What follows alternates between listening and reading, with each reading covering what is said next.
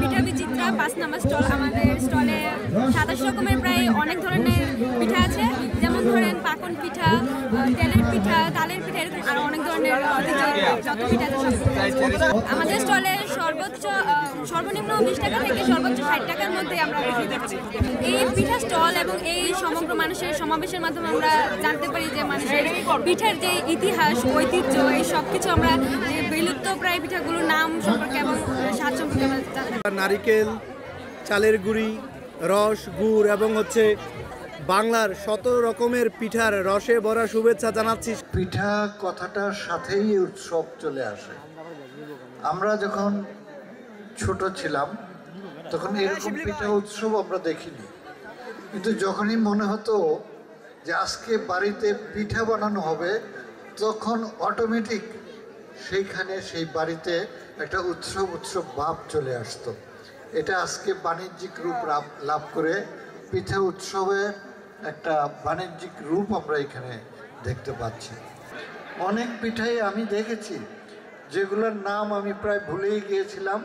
অনেক পিঠা দেখেছি, যেগুলো আগে আমার কখনো দেখা হয়ে ওঠেনি। এটাতে আমি যেটুকু, যতটুকু আমার শৈশবে আমার ঐতিহ্যে, আমার ছেলেবেলায় আমি ফিরে যেতে পেরেছি।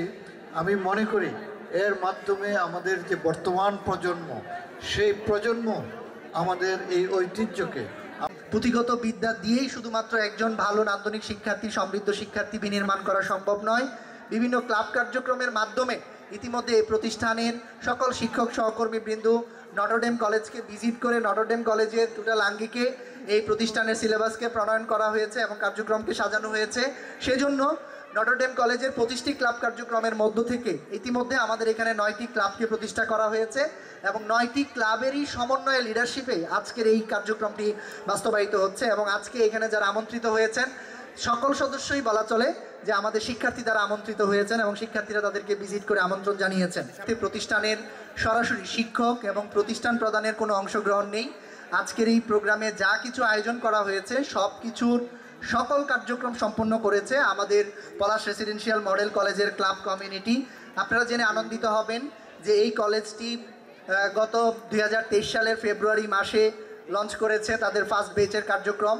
তারপরে সেকেন্ড বেচের কার্যক্রম, এরপরে আমরা অক্টোবরে শুরু করেছি। এখন দুটো বেচ মিলিয়ে প্রায় চারশো জনের মতো শিক্ষার্থী এখানে একসাথে বিলংস করছে এবং তাদেরই নান্দনিক অংশগ্রহণে আজকের আমাদের এই বারোটি স্টলকে বিভিন্নভাবে সুসজ্জিত করে তারা কার্যক্রমটি সম্পন্ন করেছে।